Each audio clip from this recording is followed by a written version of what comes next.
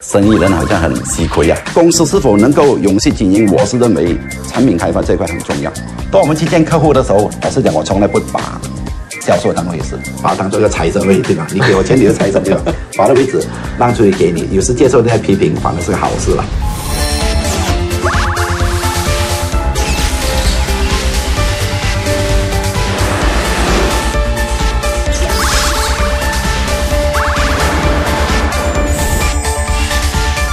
你好，我是黄俊斌，欢迎收看《启动人生》。在上一期节目里，我们听过了 Backman 创办人刘明的创业由来和他的另类管理方式。在这期节目呢，我们要来看看这位喜欢反传统的创业人怎么样描述营销和创意这回事，看看他如何把这两个重要元素融合在自己的事业里，同时让他的包包走向海外。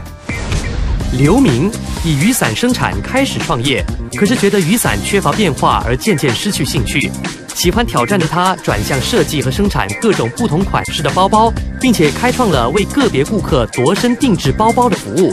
他强调，市场营销是企业的经营核心，专业就是对所投身行业的高度热诚结合全面的产品知识。自创品牌后，这个大码包包品牌成功将产品外销至法国及中东等地。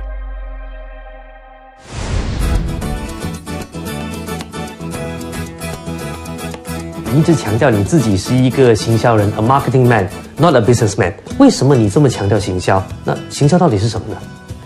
我一直认为，呃，生意人好像很吃亏呀、不够专业。有很多人误会业务就是 marketing。简单来讲，你的产品或者你的价格的拟定，还有你的那个通路，还有你的怎么做促销，构成了我们所谓的 marketing。一般上做生意哈，好像我们一传统生意就是父亲传给儿子，对吧？儿子有时候很难把它发扬光大，因为他一直照做以前传统做下来的东西。我们要突破的话，我们不可能一次卖回同样呃的产的产品。你有了行销的观念的时候，你会从产品那边开始。我的产品怎样做的跟呃人家不一样？我的产品差异化在哪里？全世界只有我这这里有，为什么？因为我自己研发的产品。而 price，我的价格的策略是什么？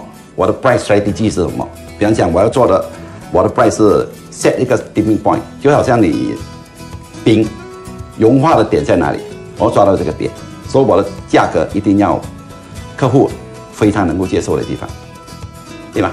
就好像料，为什么料能够那么成功？因为它经没有经过它它的特它的产品的特点就是它自己 assemble，自己呃组组装，然后价格就是自己卖，没有经过一些中间商。所以也就是说，行销是一个企业不断往前迈进、不断成长的一个主要推动力了。我是认为 marketing 非常非常重要。你只要是没有这个 marketing 的经销的一些观念的话，你到了某个呃某个生意做到某个程度之后，你一定会遇到瓶颈。其实公司是否能够永续经营，我是认为产品开发这一块很重要。假如是你从第一年开始到最后，然后十年后你卖出同样的产品的话，你产品没有开发的话，或者是你你只是买卖，你等做可能中国方呃方面或者是其他国家供应给你产品，那我相信你就很大的问题。刘明喜欢开玩笑说，营销会算命，因为只要掌握营销技巧，了解市场的风起云涌，就可以预知产品在市场的价值。市场营销无所不在，营销得无时无刻的进行。跟初相识的人第一次见面，递上名片的那一刻，其实就是营销的开始。当你去外面 networking 或者人家见客户的时候，递出去那张名片，也会开始营销。从个名片你可以看出那个人的他的公司的背景，嗯，他是否有创意，你就看到啊，你会觉得哎，这名片很很很特别。那么你的 eyes 开始 break 对吗？客户之间的隔膜就开始少了，然后再拿出我们的那个 company profile。我的 company profile，我的名片呢，尽量呃体现出我们的创意和我们本身的我们叫 corporate identity，嗯，或者是呃 reflect 出我们做什么东西的。所以我的，你看我的 corporate profile 是好像一个一个包包，对，完全不一样的东西。所以是我宁愿花一点钱在这方面，好、给大家一个不同的感觉。这个是我们一些呃营销的一些概念。就是说，每一个事情或者每一个产品的呈现方式，你都有自己的一套方法，对不对？你的 presentation skill 是不一样的啊。你通常会做怎么样的准备呢？以前古龙有一句话哈，叫“手中无剑，心中有剑”，对吧？你产品到了某个程度之后啊，你真的是比古龙更高的，就是手中无剑，心中有无剑。当我们去见客户的时候，老实讲，我从来不把销售当回事。当我能够把一个一个背包是很普通的，我能够把一个更复杂的包包呈现给你，你惊叹不已的产品的话，那个小包包是什么东西，对吧？你自然而然会把生意交给我。我认为最重要一点就是你你的产品的突破，二零零不让二零零很重要。那么你的产品很特别的话哈，你不能 compare apple 对 apple 嘛，对吧？我能 compare orange 怎么 compare apple 呢？但你不能比较的话，你不可不可以不可以认为我东西贵？嗯，不一样的东西啊，对吧？所以我认为要要做一个呃成长或者是要成长的公司，有些事事实你不是要接受，就是工资什么之类的的的的高涨，要怎么抵消？一定要自己呃设立一个研发部门，研发部门非常非常重要，你一定要设计一些呃其他竞争者没有的东西。听说你在商展里面这个摊位啊，都是顶呱呱的一级棒的是吗？因为我们做过调查，客户来源第一是从网站来，就是所谓 website，website 你没办法一直在做的。第二就是 exhibition，就是你的参展。所以我是锁定这两个。第三呢就是 referral，就是讲可能是你的旧客户，我把新的客户介绍给你。嗯，那你你的摊位有什么特别？你怎么去规划你每一年的这个摊位呢？OK，我我看过很多，因为国际的呃参展单位哈，我发觉。很多国际厂商他们的 CEO 哈，就是留给他的那个 designer 去 design 他的摊位。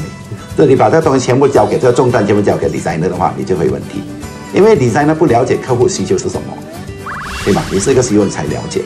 所以我跟人家不一样，就是我本身很喜欢设计，我是一个 marketing person，对吗？我把这 design 和 market 我了解客户要什么，那么我把我的设计融合了客户的需求，我的 make sure。你有那个 recall value，就是你出来之后，你觉得我这个放个飞机在里面，你会记得我，你的参展才有那个价值，人家会记得你。标新立异是捉住群众眼球的第一要领，但它必须是以顾客为中心的设计，才能达到营销的目的。刘明以创意让品牌获得认同。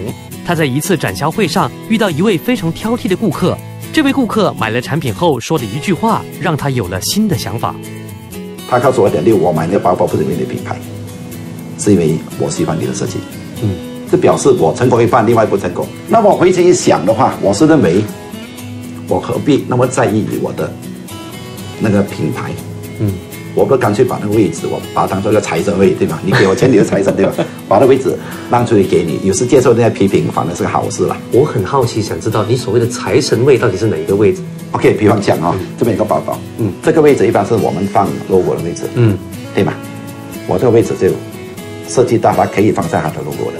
我这个拿掉，不要把我不要那么执着于我自己的品牌，因为我这边对有个我自己的这个拉链头里面都有自己的牌子，所以它已经无所不在了。无所不在，在里面也是有，嗯，对吧？这边是有，全世界包包都没有这个定位，品牌包包以赠送为主的一个定位。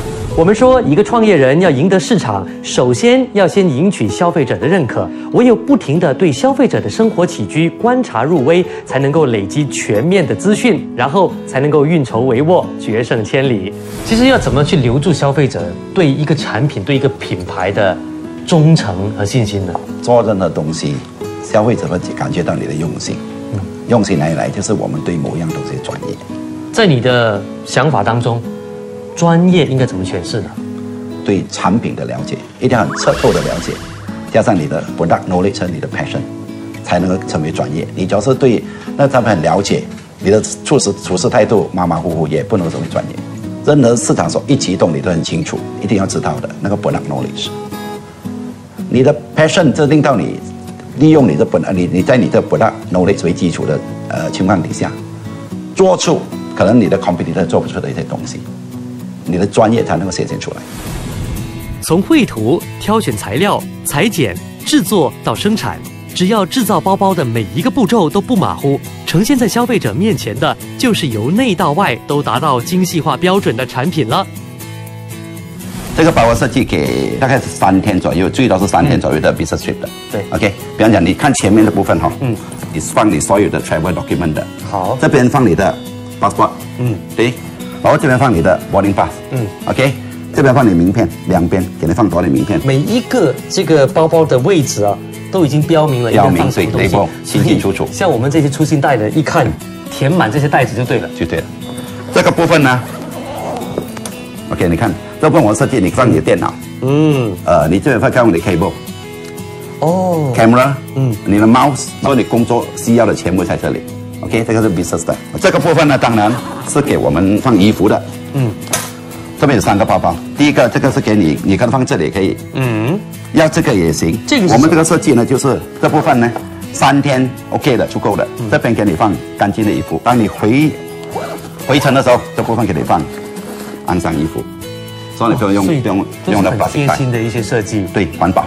到了酒店，你要见客户，很积极，对吧？OK，你就把这个包拆开来，嗯哼，很简单的拆开来，对吗？你看，这个放在酒店，这个所以前面是公务，后面是这个衣物，衣物对所以可以把它拆开。拆开到酒店直接拿出来，不用去找，不用去自己去整理，直接去见客户。如果产品只是一味的追求外在的美观，而忽略了内在的实用价值，最终只会沦为金玉其外，败絮其中。我们常说啊，一个企业要做到以人为本，重视人的价值，才能成为一个好企业。但是别忘了，只有不停的对细节关注，对人的潜在需求观察入微，才能生产出优质的产品，才是消费者想要的商品。最重要是一定要在呃产品研发这方面下功夫，一定要问自己，我们凭什么走出去？强强合一哦，我相信是天下无敌了。创业我认为就好像是下一步棋，你怎么做人，就怎么做事。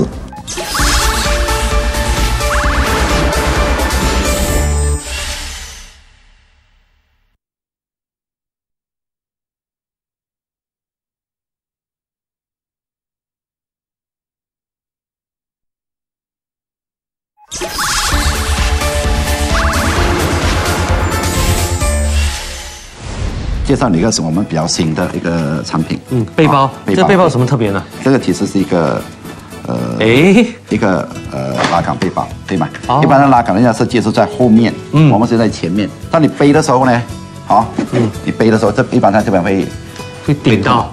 啊，这个我们在前面它就不会，哦，所以就比较舒服了，比较舒服。哦，OK，而且有一点就是很多人不会怎么用那个背包，嗯。嗯，你会用吗？你试看，背一般的包背怎么背？背包就就这么背吧，？OK，应该就这么背吧，就这么背吧。这。样背哈，你会觉得很松吗呃，会松了一点啊。？OK，你走沿路那边很痛苦的。你在任何一个背板拿上来，尽量把这部分哦，这个设计来只是给你放松那个包的。哦 OK，你稍微勾一勾就可以了按。它挑比较松一点，好，嗯任何一边喜欢你，我是这边挑上来，对吧？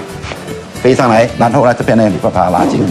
你背包拉紧的时候呢，你就会觉得很轻松，就贴在身体上贴。在身上很轻松。哦，很多人喜欢包这边好看，他们讲好看，其实走沿路你就很辛苦。而且对对这个身体的这个姿势也不太好，会伤到这个背部。然后你这样紧呢，怎么松？其实也是这个部分，你看，你嘴巴稍微拉一拉，所以这些设计其实都已经考虑到考虑到了，你这个你看这个洞是拉的，嗯嗯，对吗？然后你这个这样子哈、你只要稍微这边拉一拉，你看到吗？啊，它就松了它，就松了，然后这边这样子。所以整个动作就不会伤到你的肩膀。对呀、真的你的腰哇很。辛苦，对吧？对其实背包应该这样背的。一般在你背上去的时候啊，你会看到轮子，对吗？对对对我这个特别的背包，特别就是你看它轮子，它那个隐藏式的，哦，就完全收起来，完全看不到。完全收起来，然后你挂你在 zip 上，你完全看不到，你背的时候完全看不到。根据英国的创意产业专题报告，二零零一年的创意产业就已经占英国国内生产指数的百分之五，超过任何制造业的贡献，表现亮眼。Bagman 凭着独特的枕头背包，在国际设计比赛中获奖。他希望在创意产业中也能站稳一席地位。我认为 R&D 是我们唯一能够冲出海外的一个方法。有时很多人讲做海外做海外市场哈，嗯，我认为最重要是问自己，我们凭什么做海外市场，对吧？嗯，你要讲拼价格，中国大陆、日本、印尼全部比我们便宜，说凭什么？所以我认为马来西亚要冲出海外唯一的方法就是凭我们的创意。创意很多时候是不用钱的，脑不用钱的，对吧？所以拼创意了，所以这个是你们唯一的一个出路了，所以我是一定要唯一的出路，一定要投入，要不然的话，你你看看，你们的这个设计啊，还有第一个样板都在马来西亚做，对然后生产就在大陆做。对。其实这个流程有一有一个距离啊，啊空间上的距离，你会不会担心这个抄袭的问题出现呢？很多时候大陆呢，呃，除非他拿到一个一个一个正正版，嗯，要不然他开他他他抄不出来的。